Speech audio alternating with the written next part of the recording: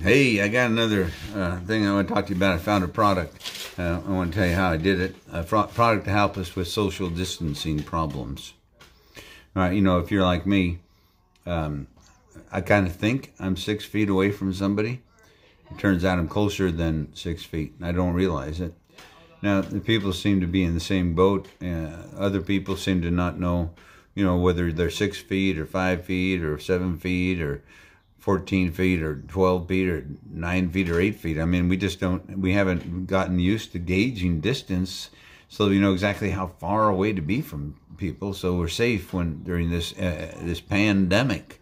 So, um, so you know, some people are starting to, you know, one company here in Spokane has come up with a product. It's uh, a product made by the SOC, stands for Spokane Outreach Center, and they're outreaching to help us uh, cope with our uh, uh, COVID virus social distancing problem, and that we do not know what six feet is. So anyway, um, I was I, I found this product in a very strange way. I was walking down the sidewalk. There were two women coming toward me. They had these little green these, these fairly good sized buttons on their on their on their persons on their shirts. Well, one of them had a button up on her. She had a thing around her neck, and it was sitting right there on her neck. Anyway, so both of them had a, a green button.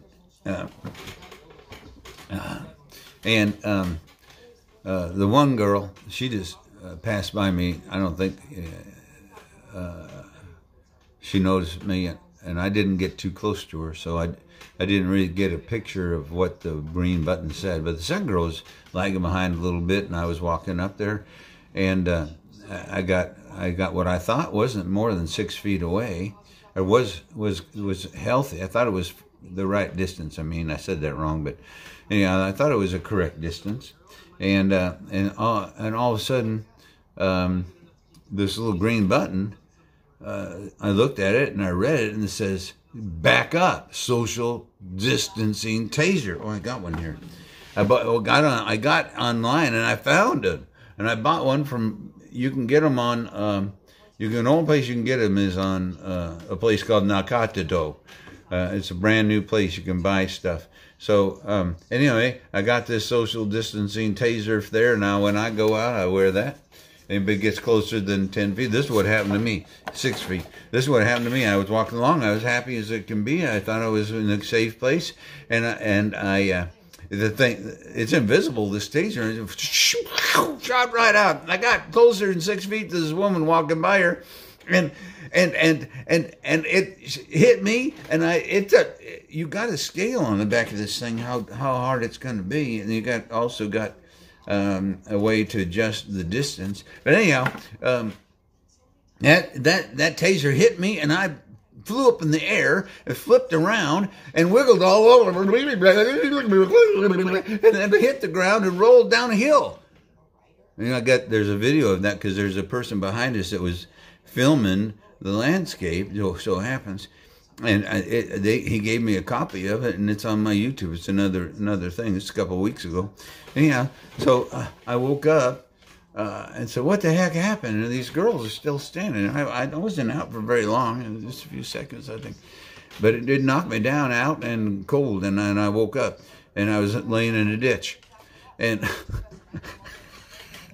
and these girls, I think they were going to piss their pants. They were so, oh, they were laughing so hard they could not stand it. And they were pointing at me, and there other people were starting to look at a guy on the roadside driving by. I was looking over what happened. And they said, that serves you right for getting too, too close for me because you got to be six feet away. And if you were closer than six feet, you put me at risk and my family and my health and, and, and, and, and and so you got tasered and you deserve it. So you stay six feet away from people or else you're gonna you're gonna be sorry. You're gonna get sick and get other people sick. And and you better take this social distancing a little more serious than they it's like i thought she was my mama for a second. Anyway uh, my point is what is my point? I think i might have let's see. Oh um, you know they, they've got some new products to help us with this because nobody knows Nobody knows what so you know if you're like me, I I think I'm six feet away from someone, but I really don't know whether I'm five feet or four and a half feet or five point point nine feet. But if you you got to be at least six feet away. Some people are saying now you got to be 13 feet away, and then tomorrow it might be 15 feet. I don't know, and then they might decide it's only only four feet. I don't know. They don't know what they're talking about. They just tell us stuff. They even said they didn't know what they were talking about. So you know, our leaders are, are just as baffled as we are. Um, and you know, it's hard to put credibility in a leader that doesn't know how to lead, isn't it? Yeah, it's hard time. Let's stop electing. Maybe that's a good idea. Stop electing leaders who can't lead you know, then then maybe we'd have good a good leadership in our country. I know the local leadership here in Spokane is awesome. I watch the I watch the city council meetings. I'm telling you, they are the sharpest, mature folks I've ever seen in my life. They are concerned about the public. They're concerned about what's safe. They listen. They hear you. And then if you have a good point, they research it and implement positive things. I've seen it over and over again watching the city council. I mean, it's boring as all get out. Uh, you probably don't want to, it's on Channel 5. And, you know, I've gotten so that I'm just watching and I'm amazed that our local, uh, we actually have mature adults running our city. And we, we certainly don't have mature adults running our nation, the Congress and the, uh, just like an elementary school playground. I mean, I, I used to work in an elementary school playground. I did. Uh, for for a few years, I was uh, with the public schools as an intervention specialist. I had the smartest kid in the kids in the school in my in my behavior room, and that's a whole nother joke. I won't tell you that now. But um, yeah, so I was on I, I, and I know exactly how they interact and how they treat each other because I had to go out there and do my my duty to my playground duty every day. Every every teacher in the place had to do that. Public schools, elementary school, and you know when I watch the Congress and the uh, and the Senate interact with each other, it reminds me of the. It does. It reminds me of it. Oh, I'm sorry. I'm not being critical. I just the minute I started watching, I go, I know this looks like an elementary school playground you know, because the things they say and do, and then these filibuster things, the most ridiculous thing. I, you know, if I, I will, if any politician that I have any interest in ever conducts a, gets in, participates in any filibuster, I will never vote for them again. Period. It's the dumbest, stupidest waste of time. It has shows that they have no concern for the, the public or the, and the then then the nation's the nation's uh, economy shuts down. We don't get a, a the budget approved, and, and, then people start getting laid off. And they don't. These politicians they don't care about their constituents. They care about being having a filibuster. Oh, I'm just going to keep talking about something. I'm never going to stop talking. I'm just going to talk about anything I feel like, and I can't. You can't stop me because I can do that as long as I want. How much is that like a childhood playground? How much that? That's just like some some little kids too two, three year olds who just learn to talk and they can't shut up. I mean, let's get, I think we need to uh, elect mature adults. And and since, uh, you know, I don't what, what happens with these guys. Anyway, you put them in, they're really good here. I mean, we have, we have fantastic mayors and city council. They're, they are definitely here in Spokane, Washington. We have mature adults running our, I believe, uh, when I watch them interact, I see mature adults interacting with one another and so, you know, and trying to figure out a way to solve the problems of the of this city and make things better. And we got an awesome place here. Spokane, Washington is an incredible place. It's getting better all the time because they're addressing, they listen to the public. Public comes in and says, well, I don't like this, I don't like that. And they say, oh, well, thanks for telling, letting us know. We'll, we'll take that under advisement. Now, now, they're even polite to the idiots that come in and say, well, I want to be able to hang from the poles whenever I feel like it, and you won't let me hang from poles uh, from my neck when I feel like it, and I want to do that from now on. And, you know, they say, well, uh, we would like to have you do that. Uh, we would like to have you give, give you the freedom to do that, but uh, we, we feel that it might be harmful to your health, and uh, people would be upset about it. It would offend people, and so we, re- even though we would we would like to accommodate you in every way we can, uh, we respect your opinion and your feelings, and and and and. But unfortunately, we're we're not going to be able to do that. But so thank you so much for coming in and telling us how you feel and what you like in our city. We we, we really like that. I mean, how much more maturity can you get when somebody some idiot comes in and tells you the most ridiculous thing you ever heard? They they want the city fathers to implement in their city. and and there's no way in the world that that you could do that and the guy doesn't, the person, man or woman, whoever it is, doesn't have a clue that this is simply impossible. You wonder why they're there talking and and they, they treat them like this, this, just as important as any other citizen comes in there that has a rational mind and is um, communicating something uh, that might be of benefit. I'm so proud of those guys. You know, why can't we get leaders like that to run our nation? What happens to them after live? They they start here and they're mature, then they move up to the uh, to some more authoritative place. What's causing what's causing uh, the the devolution of our our political figures? Once we we see a good man, he's, he's mature, he's doing a good job in our city, so let's move him into a, a, a governorship. You see him; he's in the governorship. He's doing a good job. He's still he's still uh, uh a, a, mature adult. So then, after a while, he gets uh, he gets put into maybe uh, another place. Maybe maybe uh, he's elected to some office in the in the, the central government, and and he turns into an elementary school kid. What's this? What's this? The backward uh, maturity. It, seems like the politicians we got go backwards in maturity as they move into more. I don't know. You tell me. Uh, but I would like to find somebody that's a, an adult to run our our our our government and that knows what they're doing.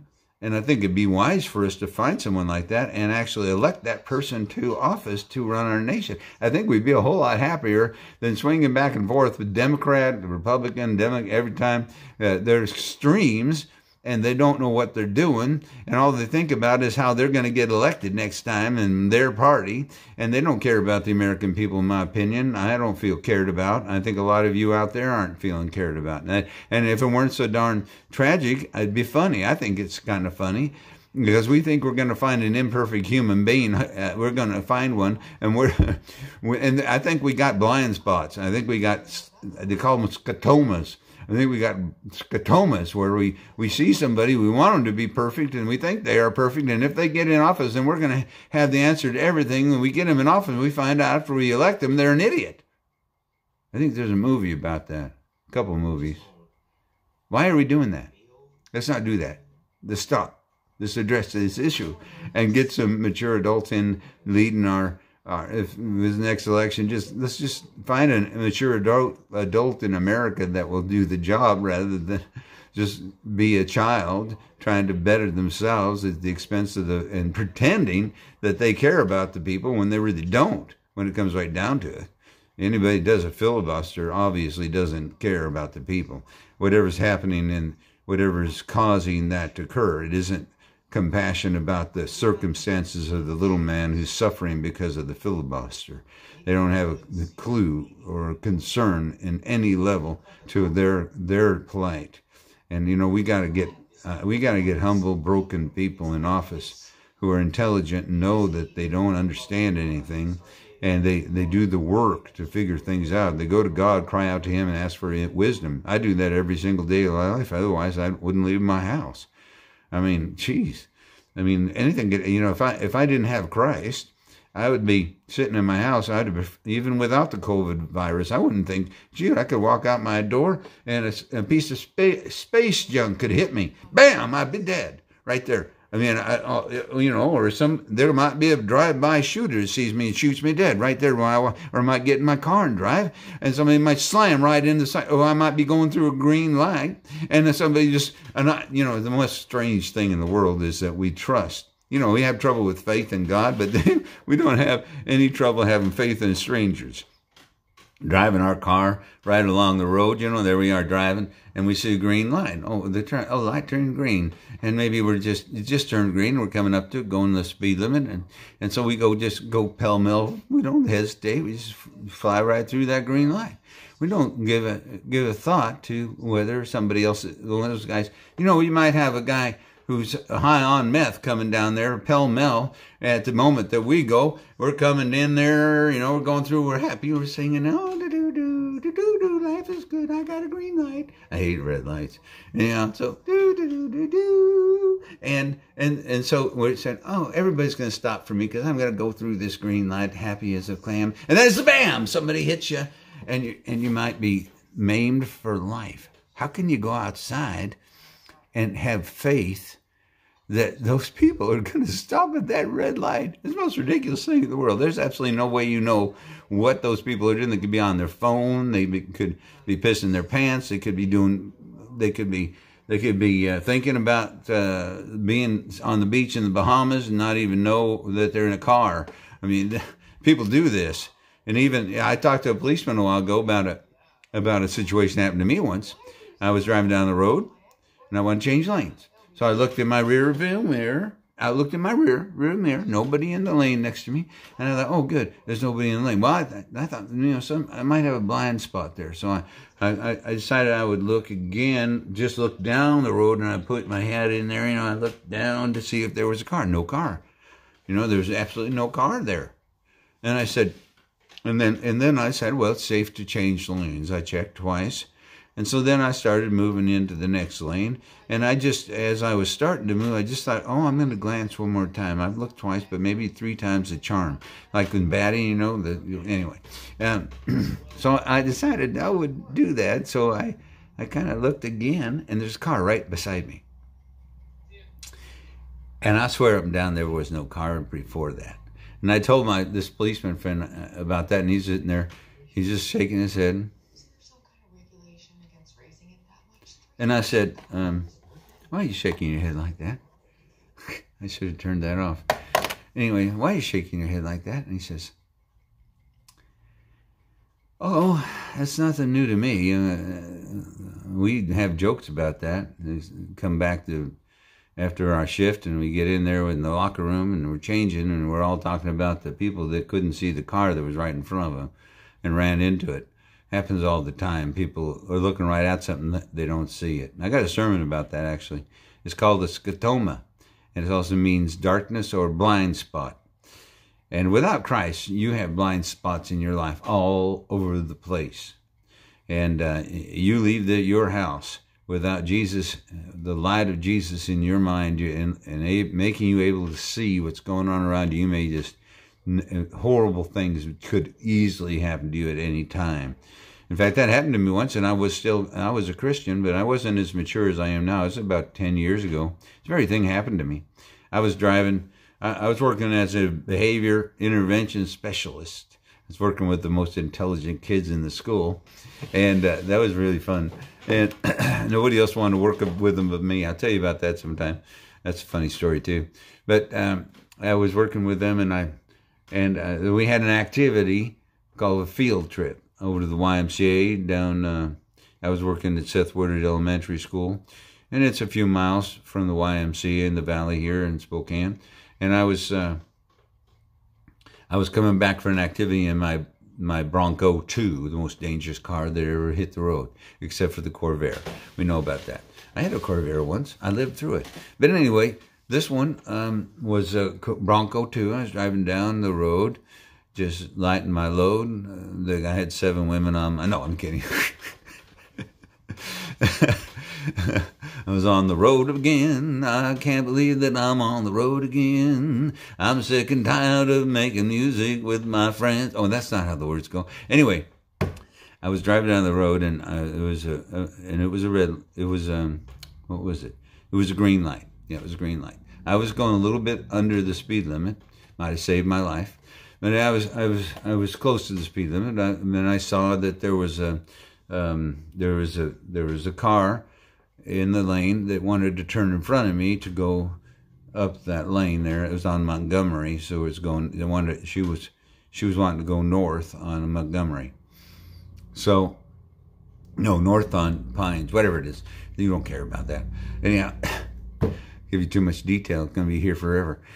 Uh, so I was turn. I wait. I saw her sitting there. She stopped, and she was waiting for me to go through the light. Uh, the green light before she uh, made her turn, and she was coming from the other way. You know, you can turn right in front of somebody to go the go north when you're on an east west, yeah, east west street. I was coming. She was sitting here. She could come from the other direction. She was sitting here waiting to go that way, and and I was coming here like this. I should have a diagram here for you, but this is my hands all I got. So uh, I was coming up, and it was good. It was green light, all all's good. So I got about right here, and she pulled out. She gunned the engine of that that uh, car. It was a, it was uh, what was that? It was a rodeo, a rodeo. It's about 10, 15 years, 20 years ago. I don't know exactly, but anyhow, she she gunned that car, and she hit me right in the driver's seat, hard enough to bend the steering wheel like this. Steering wheels, you know, steering wheels, you know, they're supposed to be round like that. But this one, when they were done with, with uh, when when I was done being shook up, I noticed it wasn't the shape of this. and the door was bent in clear into past the middle part of where I was sitting. And how did I live through that? There's a good question. Um, I had forgotten to take put my seatbelt on, so I bounced evidently because I it went so fast I didn't know it. You know, I thought she wasn't going to pull him. I thought I was safe. This really happened. So I bounced over the other side of the car. and I didn't have a scratch or bump or nothing. I just kind of bounced over, and uh, and so she she just she was not hurt. I was not hurt, and she she she was just devastated. She said, "Swore up and down." She looked, and there was no car there. Swore up and down. She could not believe there was a car there. Now, now that's a what they call a scotoma. Happens to all of us, and that's why God tells us, "Don't trust your own understanding."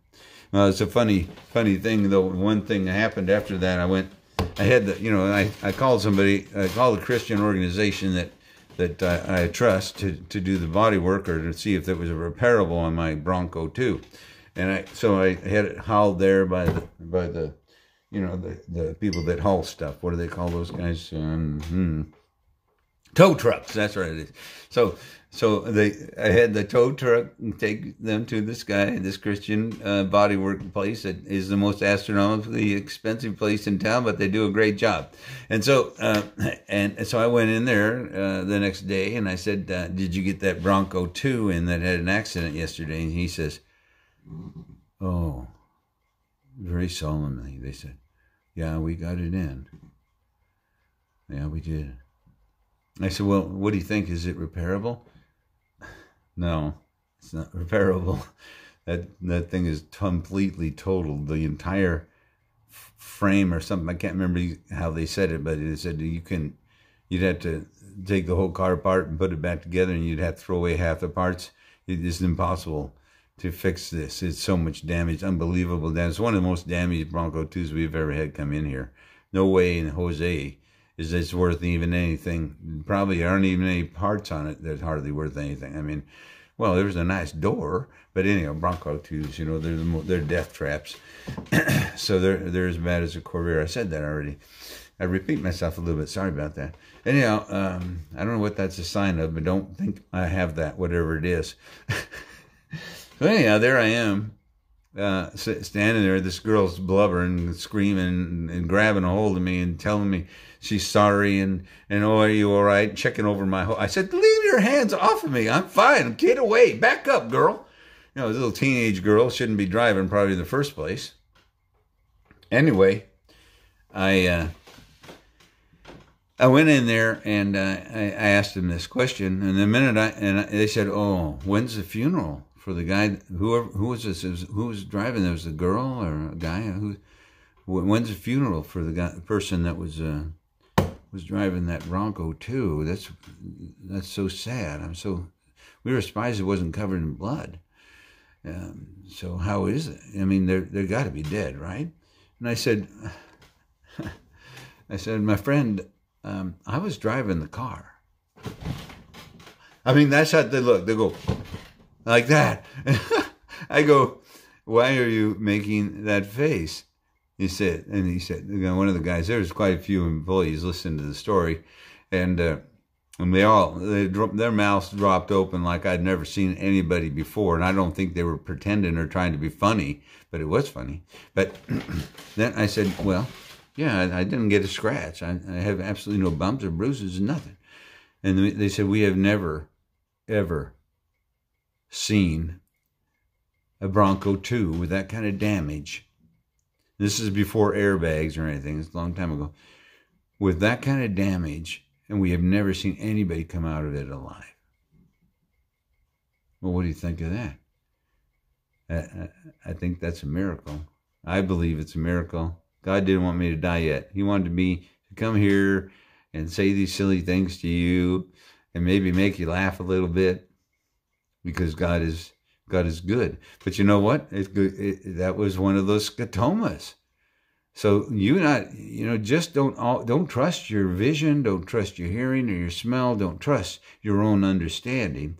And I, I'm so thankful that then God's word it says tells us not have be renewed by be transformed by the renewing of your mind. Do not trust your own understanding. Well i'm beginning to understand why he said that more and more every single day. And really i'm learning to take every thought captive. This says take every thought captive make it obey god's word. And i'm finding that i have fewer scotomas when i when I, when I take my thoughts captive and I'm safer, my perception is better and I have a clear mind.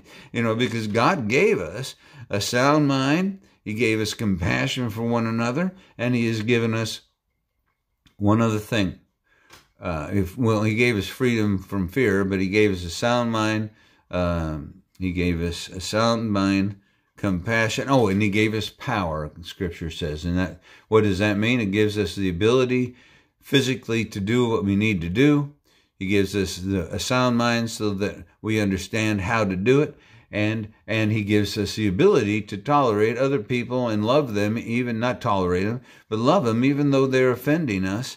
And even though they're, they're walking in darkness and they can't see the truth, and we do, we have compassion on their condition rather than condemning them. That's God and he's with us every day and he's already given those three things to you and if you're not Eh, not behaving with those two three things in action eh, and you can see that in your in the fruit of your life then you need to pick those things up. You need to let those things be activated in you so you can navigate your life a little better than you have been. And it's available. And if you don't know jesus as your savior it's real easy. Really no problem. It doesn't cost you a penny. You can make a donation to me if you wanted to but it's not going to get you salvation the Spokane Outreach Center is my corporation. Anyhow, if you would subscribe to my my YouTube, that would be so nice because I own I need to get a thousand subscribers so that I can be recognized as a human being that exists by YouTube. Anyway, that's another matter altogether. I won't talk about that. I didn't talk about it. Forget I said anything. Anyhow, my point is, I don't remember what my point is. I talk too much. So, um, I'm gonna probably end this. You're not gonna be probably getting this far anyway. Um, but uh, just know that Jesus loves you and live by Him. Seek Him. The answer to the question, uh, the, what we should do, is one word: seek. Seek and you shall find. You seek God. And If you seek and you don't find, it's because you didn't seek hard enough. And don't uh, don't give up, because God is not a liar.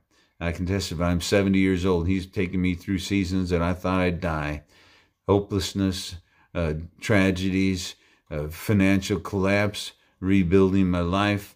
Uh, my wife of 43 years, and I'm not having a pity party here. I'm happy as I can be, as hopefully you can see. God has brought me through with godly sorrow, and He's taught me what godly sorrow is. And I will never live my life in worldly sorrow again because it goes nowhere, makes things worse. So if you're going through a tragedy today, I want you seek God in godly sorrow. Godly sorrow leads to a transformation of your character. So you're no longer the same person. You no longer have the same problems. So I wish that for you today. Let's pray. God bless those who are watching.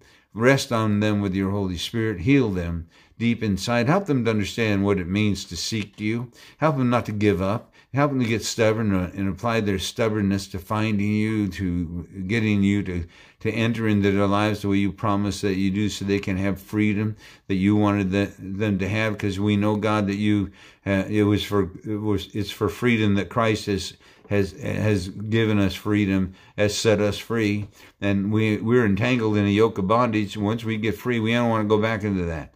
So let's uh, let's seek Him till we get freedom. In Jesus' name, I pray. Amen. Ho ho ho! Hallelujah! I'm so happy I can stand it.